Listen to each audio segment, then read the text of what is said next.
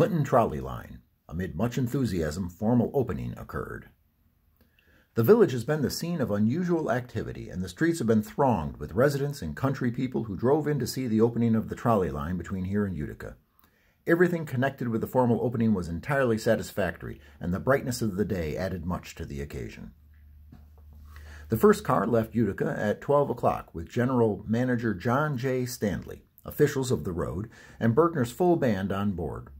Mr. Stanley also had as his guest Village President Theodore T. Thompson and members of the Board of Trustees, members of the Town Board, Proprietor Sticks of the Worth House, Postmaster F.E. Payne, C.D. Larrabee, and General Smythe, as well as representatives of the Utica Papers and Clinton Courier and Advisor. The Clinton people had gone to Utica on the 1120 train. The trip to this village was made in 45 minutes, the exact scheduled time. When the car reached the new track west of New Hartford, Motorman Dottie permitted electricity to perform some pretty energetic work with the apparent backward speeding of electric poles, fence posts, and trees, gave a strong impression to his passengers that they must be going along some. The band got off at the foot of the park and escorted the car around, playing martial music. As the car arrived during the noon hour, the school children helped to enliven matters by their presence in large numbers. Manager Stanley and his guests alighted and proceeded to the Worth House, where a fine banquet was served, the railroad officials being the hosts. About 25 sat down. The first car for Utica left here at 1 o'clock, well filled, and the regular schedule of a car leaving every hour has been maintained during the afternoon. The passengers are enthusiastic over the accommodations afforded them by the trolley. Note. Under Clinton Notes in the same edition of the Sentinel, not all bystanders were thrilled about trolleys coming into the village. Headline First runaway caused by trolley cars. The first serious runaway caused by the trolley cars occurred this morning. Ned Plunkett was driving along South Park Row with one of Hoot's delivery rigs when he met the work car rounding the curve at the bend of the park. The horse, a spirited one, took fright and broke into a run. In front of the Kennedy building, the wagon slowed, and striking a pile of dirt, Plunkett was thrown out, striking on the frozen ground with great force, bruising his hip and giving him a bad shake-up. The horse made a break up Fountain Street and was caught halfway up to Chestnut without having any damage been done. Motorman, brother to optimism, hides sting of wife's death by attempting to cheer passengers with long faces. Monotonous? Sometimes, but I enjoy it, says Scotty, who pilots New Hartford's trolley. Oh, lady! Lady! The woman had just stepped off the New Hartford streetcar. She looked around with an annoyed expression clouding her countenance. What is it? she snapped. You didn't put in your fare, remonstrated the conductor. And you know, I gotta have something to remember you by.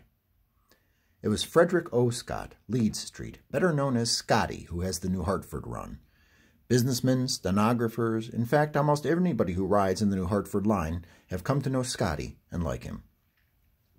The motorman seems to be a full brother in optimism. It is a rare occasion when no jovial smile is flashing across his face. That smile is contagious. Men with grouches climb the steps of his conveyance set on carrying their grouches into the office. A pleasant word from Scotty, a glimpse of his smile perhaps, and the icy grouch melts quickly away. Stenographers late to their place of employment run down the side streets waving at Scotty. The trolley waits just a second while the girls reach the step. Perhaps the furnace went out. Maybe the baby cried all night, and the Mr. and Mrs. may have had a spat at the breakfast table. Whatever it is that happened, it brings young Mr. Utica to his morning streetcar ride with a face much longer than it is wide. Cheer up, young man, Scotty will say. The young man, for some reason or another, does cheer up, and temporarily at least forgets his woes. Riding up and down one street all day would get pretty monotonous, a person might think. Scotty does not find it so. There are so many people who nod and say hello. All of Scotty's cheerfulness is pretty much a bluff to hide a sting that has hurt his heart since his wife died about a year ago, he says. I laugh and smile, he told me yesterday, but it is more or less forced. While I'm out on the job, I feel it is my duty to cheer folks up, but much of the time since my pal has gone, I've been down in the dumps. The people along the line have been mighty nice to him and have extended their sympathy, he says. Some of the best folks in Utica ride in this trolley, he said. I'm glad I have this run, as they can ride with me. The motorman has been operating the New Hartford trolley up and down Genesee Street for nearly 13 years. He has about 20 consecutive years of service with the New York State Railways. Doesn't it get pretty tiresome going up and down the same street? he was asked. Well, he countered, it's just like any other job. No matter how well you like it, there will be days when you seem to be tramping along in a deep rut but it is a pleasant occupation, and I enjoy it. The trolley slowed to a stop, and Scotty bent down to give his hand to a little schoolgirl carrying an armful of books. Well, little one, you are so small I nearly didn't see you, the motorman exclaimed. The little girl is one of hundreds of Uticans that Scotty's helping hand of optimism helps and cheer through the troubles of the day. A simple little shed had prominent beginning. There was a simple stucco shed alongside Route 5 in New Hartford that poses something of a mystery for the keen-eyed observer. An inconspicuous sign identifies it as a bus stop, yet no transportation company owns it. The walls are always freshly painted and nestled along carefully tended flowers. There's never a weed in sight. Generations of nighttime travelers have passed it almost unheedingly, yet it is brightly lit with a single electric bulb. During its more than 50 years at the corner of Sherrill Brook and Route 5, the shed has seen the country day school disappear and the Utica Mutual Insurance Company rise in the distance. It shelters area bus riders from sun and snow just as it did their parents when the Utica Clinton trolley tracks ran past its doorway. It also has the distinction of being designed by one of the nation's most prominent architects, the late Clement R. Newkirk. Newkirk, who died at age 80 last July, was the man who designed Faxton Hospital, Rome Hospital, and the Niagara Mohawk Power Corporation building at 258 Genesee Street. His buildings also grace the campuses of Cornell, Colgate, Hamilton, St. Lawrence, and Clarkson Institute of Technology. Then why a simple shed? The answer lies a few hundred yards east on Sherrill Brook. Behind the bushes stand three houses designed at the same time. The main house, the one nearest Route 5, gave Newkirk the inspiration for his trolley shelter. This is the home built for Mr. and Mrs. Richard U. Sherman in English domestic style. There is a high, peaked roof, dormer windows, and casement window below. Oaken woodwork is prominent throughout, and snowberry bushes line the outer walls where the lush green lawn ends. Newkirk explained at the time that his goal was to make the buildings a part of the land he was working with. Mrs. Sherman took the idea to heart, and she alone keeps the shed in its well-kept state. It was built for maids and gardeners, she recalls, but there are no more of those nowadays. The light now burns for travelers and to help friends and deliverymen find her driveway. You'd be amazed at how much traffic we get back here, she says, and indeed one would, for Sherrill Brook is a dead-end street. Since the property is between the township and village of New Hartford, nobody has put street lights up. Very simply put, Mrs. Sherman says she cares for the shed because if she did not, nobody else would. The side windows, for example, were once lined with glass. The panes were replaced many times, but nature and nature's young boys kept knocking them out. The trolley stop will never rank as Newkirk's most famous work, but it's a labor of love. It was his idea from the start, Mrs. Sherman recalls. Newkirk graduated from the Cornell School of Architecture in 1907 and was a partner in Bagg and Newkirk of Utica until he retired in 1951. He served as a consultant in architectural history to the Munson Williams Proctor Institute from 1951 to 56, and once served as a director of the American Institutes of Architects. So the next time you drive along Route 5, you may find it worthwhile to pause for a moment and study the shed. It is an enduring example that no job is too insignificant if it's a labor of love.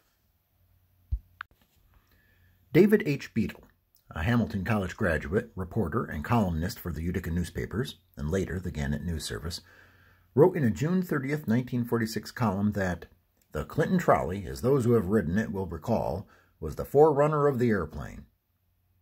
We get a good hint at Mr. Beadle's point in an article titled Traveling on Trolley Car to Clinton Provides All Thrills of Ride on Horse, under the pseudonym of A. Jostled Rider which appeared in the Observer Dispatch on Tuesday, November 5, 1935, when abandonment of the Clinton trolley line was a mere four and a half months away. A horsebacking will go, and not on a four-legged critter either, but one of those huge eight-wheeled steel horses that used to zip between Rome and Little Falls on the trolley line. And the trail we will follow is not over hill and dale, but on that wandering ribbon of iron, the Clinton streetcar line. We envy a heavy-set woman holding her position so sedately up front, for we immediately gave up the idea of even reading a newspaper. In the middle of a upholstered seat, we rolled in somewhat uneven rhythm from side to side like a girl on a circus horse dancing the two-step. It wasn't so bad going slow, and he didn't even mind the ups and downs so familiar to horsemen. But when the big car hit 20 miles per hour or better, it was figured that it was time to begin holding on. The gentle side roll became a series of sharp lurches with no certainty for which direction we were headed. It's quite a sensation riding that several miles between New Hartford and Clinton. The reason for the equestrian sensations is to be found in the roadbed, which the New York State Railways has been seeking permission from the villages of Clinton and New Hartford to abandon. The roadbed appears to have almost outlived its usefulness, and unless the permission is granted, it's anticipated that the New York State Railways will have to rebuild it from New Hartford to Clinton.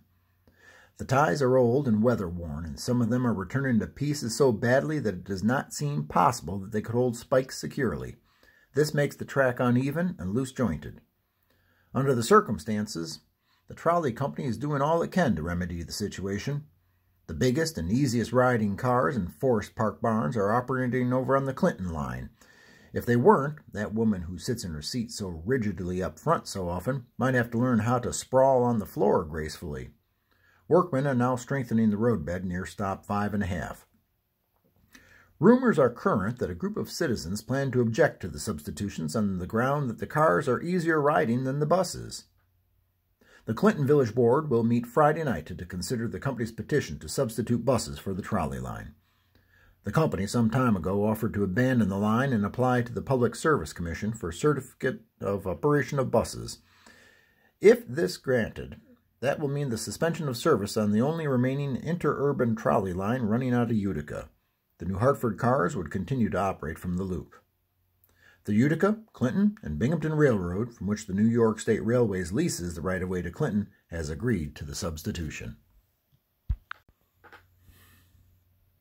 The last trolley began its nine-mile run to Clinton from Utica at 11.45 p.m. on Saturday, March 21, 1936. It departed Clinton about an hour later, very early on Sunday morning, March 22nd. As mentioned by Robert Gurley in his book Here Comes the Trolley, the motorman, at the start of the return trip to Utica, said, We ought to make some noise.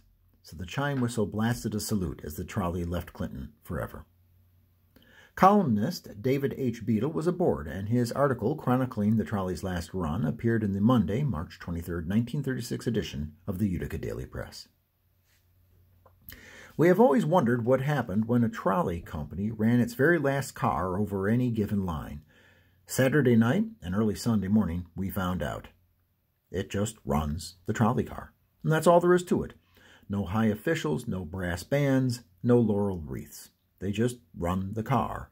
And if we are to judge by what motorman R.J. Bliss said, get it over with as soon as possible. Anyway, along with the motorman, we were the only passengers to get on the 1145 Saturday night at the Main Street barn and make a complete circuit. We rode with the intention of making a full log of the trip for posterity, or at least our Monday morning readers. We got off to an excellent beginning by noting that two other passengers boarded at the start of the run, a man in a gray felt hat and a shorter, immaculately dressed man with a shiny-handled umbrella, derby, and silk scarf who ran out rather excitedly when it looked for a moment as though the car might leave him behind. Well, our log, as an accurate and complete account, didn't get much farther than that. We did note at Oriskany Street that a couple got on, and the man, bareheaded, and the woman with a peacock blue hat. The man asked, Is this the last one up? And on being told yes, said, oh, That's the one we want. Then a swarm of persons, mostly, we gather, Hamilton College students, crowded to at the busy corner, and our log gets partly confused, since at Columbia Street the car was detained by fire apparatus, which added to the confusion. Nevertheless, it was an auspicious start, or was it, to think of the last Clinton run being held up by fire engines. Just this once, couldn't they let the Clinton car go first, give it one last fling? But we guess firemen aren't sentimental.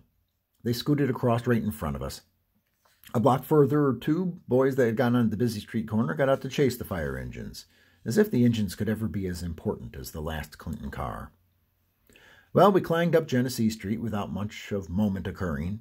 At one time, there were more than 25 people aboard, but when we left New Hartford, the number had dwindled to 11. There was no sign that anything momentous was taking place. One youth blurted, Is this the maiden voyage? when he got on, but to most of the passengers it seemed just another Clinton car. All very sad. At Clinton, everybody got out but three other passengers. They stayed on. Then we knew who the thoroughbreds were. The others were just passengers that wanted to go to Clinton. A bus or an auto would have gotten them there just as well, but not these three. They obviously, or pretty obviously, went because it was the last car and they wanted to be on it. We tackled the immaculately dressed man about it first, the man we told of at the start. He beamed jovially. I'm a foreman for the company, he said. I helped build this roadbed more than 30 years ago. I just had to go on that last car. It developed his name is C.J. Jones, and he lives in Whitesboro. He used to live in Clinton, and when they first built the line, he obtained work driving a team. He helped haul spikes, ties, and things. And later he worked for the Utica Gas and Electric Company, but for 30 years he has been with the railways. I was to go out to Clinton tonight with the family visiting, he told us. They thought we would wait and come in on the last car, but we didn't.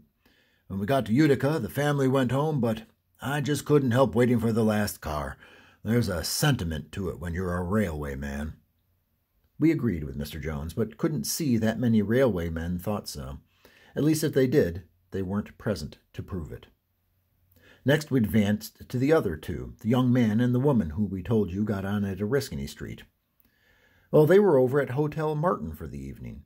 The man, who told me his name was H. F. Penner, said he read in the paper about the last car to Clinton and thought it would be good fun to ride on it, something to tell one's grandchildren about. His friend apparently thought so too, but she withheld her name from posterity. She will have to go down in history as the unidentified woman in the peacock blue hat, the only woman who rode on the last trolley from Clinton. Also on the homeward trip was Robert G. Gurney, New Hartford. He took two flashlight pictures of the car as it arrived in Clinton, said he wanted them for the Brill, people who managed to manufacture the car body and who also published a Brill magazine. He too plans to write about it. Two others got on en route for apparently practical rather than sentimental reasons, and in Utica another, Lewis Jones, station master at Forest Park. Mr. Jones seemed gratified to know that he was riding in the last Clinton car, but indicated that he hadn't gotten out of his way for it. The motorman stopped and dutifully turned both the switches going back, but we couldn't see much use in it. Maybe he did it more or less automatically, or just to keep the record straight. If we had been the motorman, we would have gotten an impish delight in running right by the switch. At the busy corner, everybody got out, including the Mr. Jones of Whitesboro, but not before he told us that he had backed the last Rome's Little Cars Falls into the Forest Park barns after his final trip. It gives a railway man a funny feeling to do that, he said. Particularly me. I was always a trolley man, and it seems too bad to see them going. We got off at the station. The motorman gave me his name and said he had been on the job since 1913. This was his regular run from Clinton.